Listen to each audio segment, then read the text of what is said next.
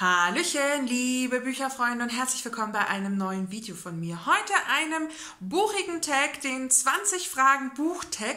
Ich habe den bei den Book Friends gesehen und auch bei Dunkelgefunkel und wurde nicht direkt getaggt, dachte aber, Mensch, einfach für so einen kleinen Plausch hier im November, da bietet sich das doch an, dass ich einfach mal so ganz frei 20 Fragen beantworte. Ich packe die Fragen unten in die Infobox, auch Bücher, wenn ich irgendwas verlinke, findet ihr unten und natürlich auch die beiden Videos von den Book Friends und von Dunkelgefunke. Also schaut da auch gerne bei den beiden vorbei, wenn ihr den Tag auch gut findet. Natürlich würde ich mich ja freuen, wenn ihr vielleicht die ein oder andere Frage in den Kommentaren beantworten wollen würdet und dann auch macht. Das war jetzt ein ganz schräger Satz, aber ich glaube, ihr wisst, was gemeint ist. Lasst uns gerne in den Austausch gehen. Da würde ich mich auf jeden Fall sehr sehr, sehr, sehr freuen. Und wir starten mit der Frage 1. Wie viele Bücher sind zu viele für eine Buchreihe? Und das finde ich unglaublich schwierig, weil ich finde, es gibt eigentlich keinen zu viel. Ich glaube, dass durchaus ähm, das ein bisschen genreabhängig ist. Das heißt, bei Fantasy äh, ist, glaube ich, da können auch 20 Bücher noch zu wenig sein, wenn man eine große Welt hat, wenn man da viel erzählen möchte, Nebencharaktere noch ähm, ja, berichten möchten aus dieser Welt. Ich glaube, dann kann eigentlich keine Reihe zu viel haben. Ich kann mir aber schon vorstellen, dass bei Thriller, Krimis, äh, wenn man eben so einen ähm, ja, im Grunde Kommissar hat oder einen Protagonisten und um den ganz viele Fälle sich bilden, dass man da vielleicht nach drei, vier Büchern sagt, okay, irgendwann ja, weiß man, wie der Charakter handelt, wie der Kommissar rangeht, wie Fälle gelöst werden und ähnlichem, dass das vielleicht ein bisschen langweilig wird. Ich persönlich habe so im Kopf überhaupt keine Reihe, die irgendwie zu lang war. Natürlich gibt es manche Reihe, wo man vielleicht einfach irgendwann merkt, okay, jetzt der erste Band ist zehn Jahre her, ja, ich bin vielleicht jetzt einfach jemand anders als damals, als ich die Reihe angefangen habe.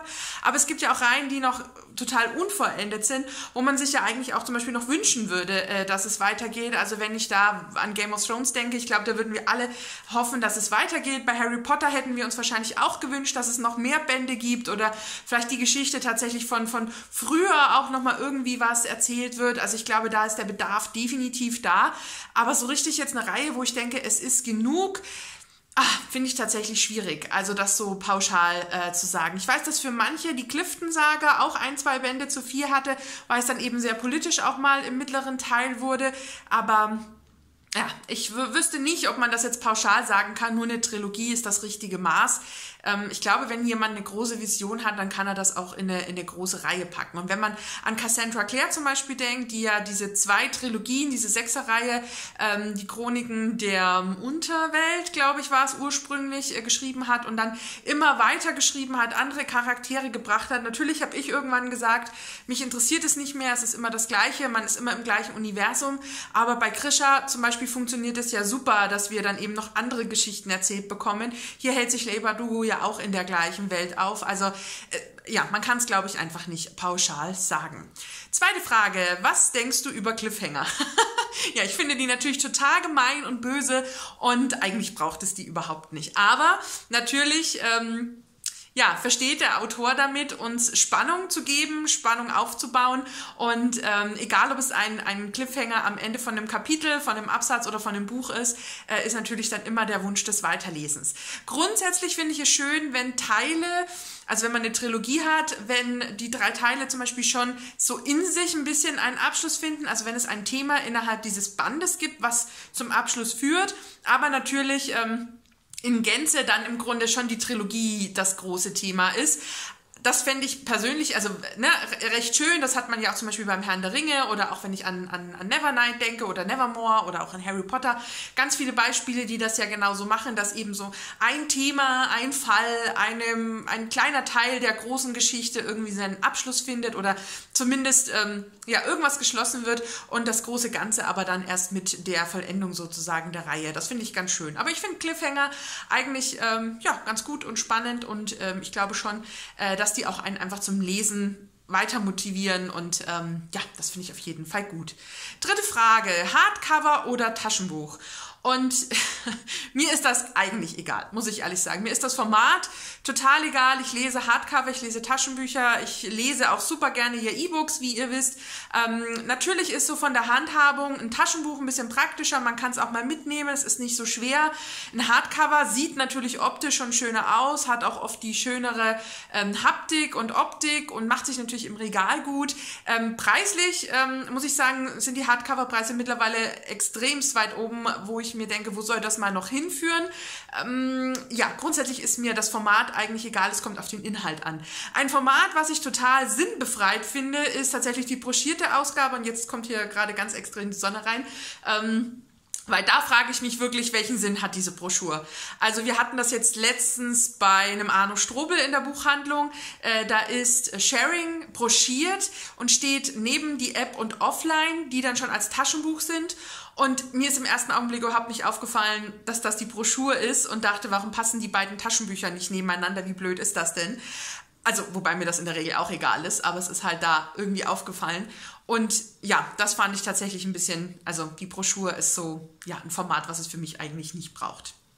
Vierte Frage. Was ist dein aktuelles Lieblingsbuch? Jetzt muss ich sagen, bei so vielen Highlights, die ich in diesem Jahr schon hatte, ist das unfassbar schwierig. Ich würde jetzt aber den Wink schon mal geben, äh, dass ihr euch im Dezember wieder auf den Highlight Adventskalender freuen dürft, wo ich jeden Tag morgens ein Türchen öffne mit einem buchigen Highlight. Es sind manchmal ganze Reihen, es ist manchmal ein Autor, der mit mehreren Werken vertreten ist oder dann eben wirklich ein Buch, was mich total begeistert hat. Und ich kann mich da nicht auf eins festlegen. Also ich würde so sagen, ich habe so eine Top Top 10 schon im Kopf, wo ich genau weiß, die kommen in den Kalender mm, oder zumindest so gemischt mit Buch und Autoren. Aber das äh, jetzt aufzuzählen wäre einfach zu viel. Aber guckt ab dem 1. Dezember morgens um 7 äh, ja hier in den, auf den Kanal, in den Adventskalender und da werde ich euch ganz viele Highlights äh, in kurzer Videozeit sozusagen präsentieren. Die fünfte Frage. Welches Buch hast du zuletzt mit fünf Sternen bewertet? Und das äh, war tatsächlich The Haunting of Evelyn Jones von Phil Hicks. Hicks? Hicks? was ich sehr verschlungen habe, was mir super gut gefallen hat, was so ein Kinder-Jugendbuch Märchen mit Gruselanteil ist und was mir unfassbar gut gefallen hat. Diese, ähm, ja, dieser Blick des, des unserer Evelyn Jones, einem jungen Mädchen und so mit Geistergeschichten und ein bisschen gruselig und das fand ich richtig, richtig toll. Hat von mir zuletzt ähm, jetzt im Oktober fünf Sterne bekommen und ist wirklich eine absolute Empfehlung. Sechste Frage. Liebesdreieck, ja oder nein? Und da muss ich gar nicht lange überlegen, es ist ein Nein. Ich hasse Liebesdreiecke. Ich, äh, ich finde das sowas von unnötig und ich finde sowas total merkwürdig und ich kann das nicht nachvollziehen. Ich verstehe nicht, wie eine Protagonistin zum Beispiel manchmal gleichzeitig sich in zwei Typen verliebt. Es muss immer irgendeiner von beiden mehr Gefühlen in ihr anregen, als dass das alles immer gleich ist. Ich verstehe nicht, wenn jemand schon mit jemandem zusammen ist, wenn wir einen Protagonisten haben, der eine Freundin hat, verheiratet ist und dann irgendwie hier läuft eine Assistentin rum, um alle Klischeekeulen rauszuholen. Ich kann das nicht nachvollziehen sind. Ich hasse Liebesdreiecke und das finde ich ist überhaupt keine Art der Liebesgeschichte, wie ich sie gerne lese. Ich ähm, finde das super anstrengend, finde das super nervig und wenn ich dann noch in der Ich-Perspektive von der demjenigen drin bin, der dieses Dreieck hat, ich bin nicht so angeödet. Also das ist wirklich was, was ich versuche zu vermeiden. Klappt natürlich nicht immer, weil man es manchmal auch vorher gar nicht weiß, aber das müsste es für mich gar nicht geben. Ich weiß gar nicht, ob es Johnny Depp war der, also so habe ich das zumindest in Erinnerung ohne Gewehr, äh, der mal gesagt hat, man liebt nicht zwei Menschen gleichzeitig, ähm, würde man den ersten Menschen sozusagen wirklich lieben, dann gäbe es gar keinen zweiten. Und so halte ich es tatsächlich auch. Und denke mir so, dass das ist so, ach, ich weiß auch nicht, wo das herkommt und warum das so Trend ist und warum das in so vielen Liebesgeschichten äh, eine Rolle spielt. Und ich, ähm, ja, ich muss auch sagen, dass ich das in Real Life, also so dieses gleichzeitig weder von Freunden noch Freundinnen noch von Bekannten irgendwie mal mitgekriegt hätte. Also, dass man natürlich in einer Beziehung, in einer Ehe ist und irgendwie ergibt sich dann was, okay, ist vielleicht auch nochmal was anderes als ein äh, Liebesdreieck, aber so dieses, ich stehe hier in der Disco und zwei Typen, äh, das, ja, aber gut, ähm, nein. Die kurze Antwort, No, nein. Ähm, siebte Frage. Welches Buch sollte verfilmt werden? Also ich liebe ja Wohlfühlromane und ich könnte mir die auch wunderbar als Serie vorstellen. Ich stelle mir hier zum Beispiel die Romantic Escapes Reihe als Serie wunderbar vor von Julie Kaplan, also wo wir mal in äh, Island sind, wir sind mal in Tokio, wir sind in Paris, in Brooklyn ganz aktuell in einem Chalet in der Schweiz. Das Buch ist ja jetzt im Oktober erschienen. Ich könnte mir das so richtig vorstellen. So als zwei, Dreiteiler pro Buch und dann macht man oder macht man eine ganze Staffel und man ist dann irgendwie eben in dieser Stadt oder begleitet gleichzeitig zwei, drei äh, junge Frauen, die eben irgendwie auf der Flucht sind und man hat dann verschiedene Perspektiven und ähm, ja, hat dann irgendwie so zwei, drei Staffeln für diese sechs, sieben Bücher. Ich stelle mir das richtig toll vor. Man hat da immer irgendwas zu essen, es ist immer romantisch, wir haben so eine Lebensgeschichte, eine junge Frau, die im Umbruch ist und das stelle ich mir richtig schön vor. Und auch so ein bisschen Richtung Wohlfühlroman sind eben die Redwood-Bücher, äh, wo wir eben so ein bisschen vielleicht auch tatsächlich so eine Mischung aus Gilmore Girls hätten, vielleicht auch Virgin River oder da gab es noch Magnolien, irgendwas. Ich bin mir gerade nicht mehr sicher, wie die Serie hieß. Die hat mir auf jeden Fall auch gut gefallen. Äh, wo wir so eine Kleinstadt haben mit liebenswerten Charakteren und ähm, ja, das könnte ich mir als Serie oder auch als Film auch richtig gut vorstellen, dass die sich eben immer wieder irgendwie treffen. Und um aus diesem Wohlfühlbereich mal rauszugehen, möchte ich, dass Nevernight auf jeden Fall ähm, verfilmt wird von Jay Christoph, weil das wäre eine wahnsinnig geile Serie, die hier in diese Dark Fantasy geht und mit einer tollen, starken Protagonistin, einer magischen Welt und so diesem Assassinenweg und Rache ist alles und das fände ich auch richtig geil. Wäre zwar brutal und bestimmt auch blutig, fände ich aber mega und äh, wenn wir schon bei der Fantasy sind, dann würde ich auch Nevermore super gerne ähm, als Serie oder Verfilmung haben, weil auch diese Welt finde ich richtig, richtig schön und die war so kreativ und bunt und innovativ und auch überhaupt so diese ganze Vorstellung von Nevermore, von dieser Stadt, ähm, das stelle ich mir auf der Leinwand auch richtig richtig, toll vor. Und ähm, ja, das wären so meine Wünsche. Ich hoffe, irgendjemand gibt die jetzt hier an Produktionsfirmen gleich mal weiter. Die Steffi würde das gerne sehen. Ähm, ich stehe da auch äh, mit Fragen und Antworten gerne zur Verfügung. ähm, ähm, achte Frage. Welches ist dein aktuelles Currently Reading? Aktuell lese ich noch in Soul Food von Elisabeth Aquedo. Ähm, das ist so ein Jugendbuch, würde ich sagen, schon ja ein bisschen erwachseneres Jugendbuch. Ähm, da bin ich noch so mittendrin. Das gefällt mir auf jeden Fall ganz gut. Hat auch ein wunderschönes Cover und es geht um Essen und um eine junge Protagonistin, die ähm, auch schon ein Kind hat, aber eben doch gerne ihren Traum auch so von der Arbeit in der Küche, von der Köchin im Grunde verwirklichen möchte. Und ja, das lese ich zu Ende. Und als Hörbuch habe ich das neue Buch von ähm, Nicolas Barrault noch auf den Ohren. Da habe ich aber auch gar nicht mehr so viel. Also ich drehe das Video schon ein bisschen früher, äh, als wann ihr das seht. Wahrscheinlich ist tatsächlich mein Currently Reading, wenn das Video hochgeladen wird, ein anderes. Aber aktuell zum jetzigen Stand ist das ähm, mein Hörbuch. Das ist ja die Fortsetzung von Das Lächeln der Frauen. Irgendwas mit Die Zeit der Kirschen oder so. Und äh, ja, dem lausche ich noch ein bisschen. Also da werdet ihr, denke ich, dann auf jeden Fall in der kommenden Bücherwoche auch schon ein bisschen was dazu hören. Neunte Frage. Welches Buch hast du zuletzt weiterempfohlen? Ähm, ja, ein Buch, das ich in diesem Jahr einigen lieben Menschen empfohlen habe und auch ähm, schon verschenkt habe, ganz ähm, aktuell Ende äh, Oktober an eine liebe Freundin, ist äh, ja Eddie LaRue von V.I. Schwab. Das ist eins dieser Highlight-Bücher, die auf jeden Fall einen ganz besonderen Platz haben, die auch hier im Regal schon ihren Platz gefunden haben und äh, das mich im Grunde auch zu Wie Schwab äh, gebracht hat. Ich danach Bücher noch von ihr gelesen habe und ja auch davor noch die Weltenbauen, nee, Weltenreisenden-Reihe, ich weiß gerade nicht mehr, wie die, der Oberbegriff ist, aber ähm, ja, wahnsinns tolles Buch, tiefgründig, emotional, so ein Hauch von Fantasy und irgendwie, wenn hier der Teufel mitspielt und aber dann haben wir auch diesen historischen Fakt, dass sie eben so alleine durch die Zeit geht und was es eben mit einem macht, wenn einem jemand immer gleich wieder vergisst, äh, wenn man im Grunde aus der Tür geht und das war so beeindruckend, so toll und es hatte so wahnsinnig schöne emotionale Momente, also ganz, ganz große Empfehlung. Zehntes Buch. Welches war das älteste Buch, Erscheinungsdatum, was du zuletzt gelesen hast.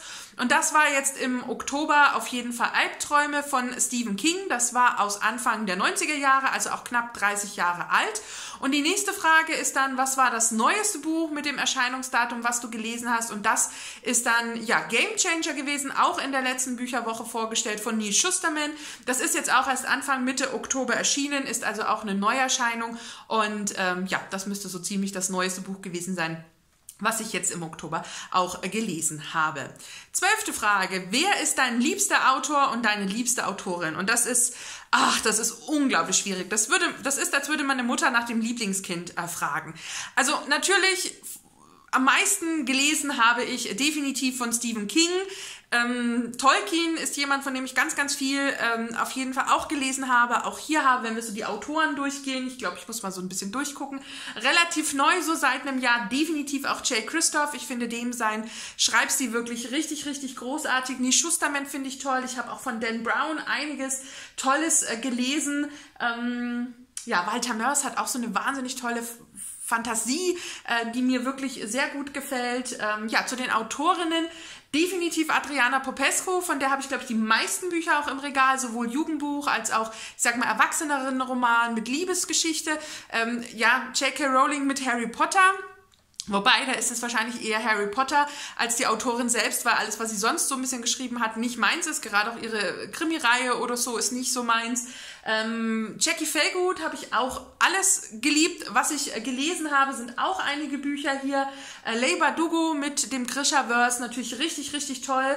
Ähm, ja, äh, wie ich Schwab habe ich schon äh, gesagt. Ähm, ja, das, das ist so von Ursula Ponsnanski habe ich schon einiges gelesen, was ich auch gefeiert habe. Also es sind schon einige Namen. Ich werde wahrscheinlich so ein paar Bücher unten einfach mal reinsetzen. Ähm, also da, ach, so einen, also wahrscheinlich so den ich am längsten lese, wird wahrscheinlich wahrscheinlich tatsächlich King sein. Ähm, ja, und dann gleich dicht gefolgt wahrscheinlich von, von, ähm, von Tolkien. Ähm, ja, und dann Popescu halt wirklich so mit den meisten Büchern, die ich hier so stehen habe. Ja, wenn man es so irgendwie erklären möchte. Äh, 13. Frage. Bücher lieber kaufen oder ausleihen? Also ich bin definitiv äh, Fraktion kaufen. Ich bin kein so großer Fan vom Ausleihen. Ich kann gar nicht erklären, warum. Ich war früher viel in der Bücherei. Ähm, ich finde auch die Idee von so einer Online für E-Books überhaupt nicht äh, schlecht.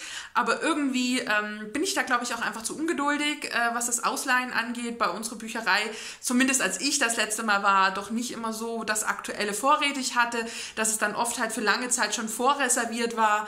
Und ähm, ja, das ist, ist ähm, ich bin halt auch so ein Neuerscheinungsleser und dann möchte ich halt nicht ähm, ja, zu lange auf irgendwas warten. Natürlich könnte man es bei den älteren Büchern sagen, die ich oft tausche oder bei Rebuy Medimobs mir besorge, die könnte man auch ausleihen. Aber ich habe das halt auch gerne einfach im Sub und habe es dann vor Augen und möchte mich auch gar nicht so festlegen. Ich bin kein Freund von Leselisten. Würde ich jetzt drei Bücher von der Bücherei mitnehmen, müsste, müsste ich die ja gleich lesen. Ah, ich weiß nicht, ob das bei mir so im Kopf funktionieren würde. Also ich äh, bin da definitiv äh, Fraktion kaufen egal in welcher Art. Und ähm, ja, das läuft, glaube ich, auch ganz gut. 14. Frage. Welches Buch, was viele mögen, magst du nicht? Ich glaube, da kann ich aktuell von Grave sprechen, von Tracy Wolf, dass er sehr gehypt ist und wurde und mir ja so gar nicht gefallen hat. Ich einiges an Kritik hatte. Das könnt ihr euch auch im letzten Hörverdruss äh, mal anschauen, wenn ihr da noch nicht meine Meinung gehört habt. Es gibt natürlich immer Bücher, äh, die gehypt sind, die man selbst nicht so gut findet. Das ist aber gilt natürlich auch für umgedreht. Ähm, also von daher, aber das wäre so das letzte Buch, äh, wo ich wirklich dachte, boah, haben die Leute, die das feiern, das gleiche Buch gelesen wie ich? Ähm, ja, ich da gar keinen Zugang gefunden habe. 15. Frage, Lesezeichen oder Eselsohr? Also ich, ja, Eselsohren, davon bin ich nicht der größte Fan. Ich habe nichts gegen Markierungen in Büchern, aber ich habe eigentlich immer irgendwie ein Lesezeichen. Meistens wirklich ein echtes Lesezeichen, manchmal auch einfach irgendwie eine coole Postkarte mit einem schönen Spruch oder wenn gar nichts zur Hand ist, auch mein Kassenzettel, aber schon irgendwas, was es äh, bemerkbar macht, dass ich in dem Buch äh, gerade an der und der Stelle bin. Ähm, Eselsohren, ich habe nichts dagegen, wenn Bücher gelebt, geliebt und gelesen aussehen, aber so ein Eselsohr ist schon, äh, das tut mir so ein bisschen im Herzen weh. Ja, 16. Frage. Welches Buch könntest du immer wieder lesen? Ja, und das ist ein Buch, was ich auch immer wieder lese. Es ist einfach die Harry Potter-Reihe. Also ich habe die schon so oft gerereadet, steckt ja auch gerade mittendrin, habe jetzt noch Band 6 und 7 äh, vor mir. Das werde ich auch dieses Jahr auf jeden Fall noch äh, weiterhören und abschließen. Aber das ist einfach, Hogwarts ist einfach was, wo ich super gerne nach Hause zurückkehre, mich wohlfühle und dort ankomme und auch immer wieder neue Dinge entdecke und manches auch schon wieder vergessen habe. Und äh, das ist was, was ich ich immer wieder lesen kann und auch immer wieder lese. Äh, natürlich auch Mittelerde, da habe ich mir für nächstes Jahr ein bisschen was vorgenommen, mal wieder was zu rereaden. Ähm, Herr der Ringe und den Hobbit habe ich ja jetzt erst in vor einigen, also letztes Jahr und vorletztes Jahr gelesen, aber gerade auch mal so die anderen Geschichten einfach mal wieder eintauchen, besonders wenn dann auch die Serie nächstes Jahr kommt auf Amazon. Ähm, ja, aber ich glaube, Harry Potter ist hier definitiv die ultimative Antwort. 17. Frage. Kannst du während dem Lesen Musik hören? Das möchte ich mit Jein beantworten. Ähm, Musik ohne Text funktioniert sehr gut. Also ich mag es, klassische Musik zu hören, Filmmusik, äh, Hintergrundgeräusche, egal ob das dann ein Fluss ist, der irgendwie Geräusche macht, Meeresrauschen und so weiter. Sowas höre ich super gerne nebenbei. Äh, besonders auch Filmmusik, das klappt auch bei vielen Büchern sehr gut. Nein, wenn jemand singt. Also das neueste Album von Ed Sheeran oder irgendwie ja, keine Ahnung, irgendwas von Pink oder Robbie Williams oder gar noch auf Deutsch, das kann ich überhaupt nicht. Also wenn dann irgendwie ein Text in meinem Kopf ist und ich lese, dann bin ich irgendwie raus. Das funktioniert nicht. Also ich bin noch niemand, der äh, mit Fernsehen irgendwie lesen kann. Das geht schon, aber dann darf der Fernseher auch nicht zu laut sein. Ähm, den Kompromiss muss man ja manchmal gehen. Aber das, äh, ja, also wenn es nach mir geht, so eine schöne Musik, eine Hintergrundmusik darf gerne sein. Ich finde es auch ganz angenehm, weil dann auch so der Leseflow so ein bisschen mit der, dem musikalischen Flow kommt, aber nichts, was irgendwie Text hat. Nein. Ähm, 18. Frage, liest du lieber aus einer Sicht oder aus mehreren Perspektiven? Ach, auch wieder so eine schwere Frage. Ich bin, glaube ich, kein Freund von Entweder-Oder-Fragen. Also ich glaube schon, dass es ganz schön ist, das ist vielleicht auch so ein bisschen genreabhängig, ähm, dass es ganz schön ist, wenn man eine Perspektive hat. Aber es ist natürlich auch hilfreich, wenn man durchaus noch zwei andere Perspektiven hat, gerade wenn sich die Leute alle nicht am gleichen Platz aufhalten. Also wenn wir beim Herrn der Ringe sind und wir verfolgen einmal Frodo und Sam und dann aber auch den Rest der Gefährten nochmal in zwei anderen Perspektiven, dann macht das ja durchaus Sinn, weil ja im Grunde Frodo diese Geschichten zusammengetragen hat und natürlich auch die anderen Perspektiven mit einbauen lässt. Allerdings muss man sagen, wenn man ähm, an andere Bücher denkt, wo man nur eine Perspektive hat, vielleicht sogar eine Ich-Perspektive, wenn man an die Tribute von Panem denkt, ähm, da hat es natürlich durchaus Sinn gemacht, nicht mehr zu wissen als die Protagonistin selbst, weil das eben auch den Reiz der Geschichte ausgemacht hat. Also, dass wir nicht wussten, was geschah ähm, an anderer Stelle, sondern wirklich wir nur die Infos hatten, die die Protagonistin in dem Fall auch hatte. Und es hat beides seinen Reiz. Ich glaube, wenn ich mich wirklich entscheiden müsste, ich würde wahrscheinlich mehrere Perspektiven wählen wählen, einfach um so ein bisschen ähm, einen Überblick zu bekommen über die Geschichte. Also auch wenn man an Ley Bardugo denkt und an die Krischer-Reihe, da haben wir ja nur einen Blick, während wir bei dem Lied der Krähen ja verschiedene Perspektiven hat. Das hat beides seinen Charme und natürlich ist auch ein Buch, wo drei, vier Perspektiven sind, im Grunde ja auch nur eine Erzählung von einer Geschichte, von einer Perspektive, aber halt, also wenn ihr versteht, wie ich meine. Ähm, ja, aber ich würde wahrscheinlich die mit den mehreren Perspektiven vorziehen. Es könnten ja auch zwei sein, das wäre ja auch schon mehrere. Ähm, ja, wenn man da an, an, an uh, Beth O'Leary denkt und Love to Share oder auch an ähm, ja, Time to Love, äh, wo wir hier zwei Protagonistinnen haben und jede erzählt uns ihre Geschichte, das hat natürlich auch schon einfach was. Also ja, ich würde wahrscheinlich die mehreren Perspektiven wählen. 19. Frage. Wie viele Bücher stehen aktuell in deinem Bücherregal? Ich habe sie tatsächlich gezählt. Ich hatte nicht gedacht, dass es so viele sind. Ich habe ja zum einen mein Highlight-Bücherregal, wo ich glaube wirklich nur so zwei, drei Bücher sind, die nicht gelesen sind, ähm, die aber eben zu Highlight-Autoren Autorinnen gehört. In dem Highlight-Regal habe ich 110 Bücher. Und das hätte ich echt nicht gedacht. Also so circa. Es könnten auch 112 sein, vielleicht sind auch schon drei, vier neue dazugekommen. Aber so ungefähr 110. Und im Subregal mit Harry Potter, mit Mittelerde und auch meinen Sach- und Reisebüchern, die ja auch in dem Regal stehen und ja schon gelesen sind und nicht im Sub zählen, da sind es tatsächlich über 150. Und wenn ich mir jetzt vorstelle, dass das echt 260 Bücher hier sind, das finde ich echt ich hätte nicht gedacht, dass es so viel ist. Ich hatte so im Highlight-Regal vielleicht mit 80 gerechnet und so Sub und ja, ist, das Problem ist, bei dem Subregal äh, täuscht natürlich äh, auch einfach, dass man ja, also ich habe ja zwei Varianten von Harry Potter komplett. Das sind ja allein schon 14 Bücher. Und dann, also ja, und auch bei Mittelerde, da habe ich ja auch drei Varianten vom Herrn der Ringe, zwei Varianten vom Hobbit und so weiter. Ich habe zwei verschiedene Ausgaben vom, von den einen Büchern, den geheimen Geschichten. Also das, äh, ja, also 260 Bücher. Ich habe nicht auf den E-Book-Reader geguckt, weil da müsste ich ja dann unterscheiden, was äh, ist vielleicht ein Buch, was dann auch im Regal mittlerweile schon steht, weil Highlights ziehen ja oft als echtes Buch ein.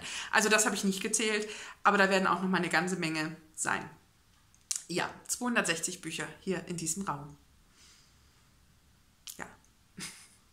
ja. Ha, ja, 20. Frage und auch letzte Frage. Welches Buch willst du als nächstes lesen? Und ich habe keine Ahnung. Ich bin noch sowas von unentschlossen. Ich werde jetzt die zwei Bücher erstmal noch beenden, die ich jetzt habe. Und dann, ja, gute Frage, was als nächstes dran kommt. Es liegen hier schon natürlich einige Bücher. Ich habe einen neuen Schusterman hier. Ich habe äh, zwei Bücher von Adriana hier unter ihrem anderen Pseudonym, äh, die mich irgendwie reizen würden. Ich habe mir zwei Bücher auch in... Ähm, in, in Nürnberg gekauft, wo ich mich mit Anka getroffen habe, wo ich denke, ja, das ist natürlich auch was. Das neue Buch von, von Poznanski ist hier, ich habe Mission Erde hier, ich, ähm, ja, mal gucken, was es wird. Ähm, ja, ich weiß gar nicht, ob das dann schon die Woche ist oder erst die Woche drauf. Da wird ja dann auch im Leseklub wieder gelesen. Also ich bin tatsächlich, ich habe keine Leseliste, ich lese sehr frei, ich greife sehr spontan zu den Büchern und ich kann das tatsächlich noch nicht sagen. Aber vielleicht wisst ihr ja, welches Buch ihr als nächstes lest oder habt, wie gesagt, Lust, auch die Fragen zu beantworten, dann sehr gerne in die Kommentare. Ihr findet die Fragen auf jeden Fall in der Infobox. Und ähm, ja, jetzt lange genug gequatscht. Es waren coole 20 Minuten. Ich hoffe, ihr hattet auch, nein, 20 Fragen mit über 20 Minuten. Ich sehe es so aus der Entfernung. Ich hoffe, ihr hattet auch ein bisschen Spaß an dem Tag, an den Fragen und eben auch an meinen Antworten. Hoffe, ich konnte euch ein bisschen unterhalten. Danke euch jetzt fürs Zusehen. Wünsche euch noch einen schönen Tag, einen schönen Abend und bis zum nächsten Video. Macht's gut. Tschüss, eure Steffi.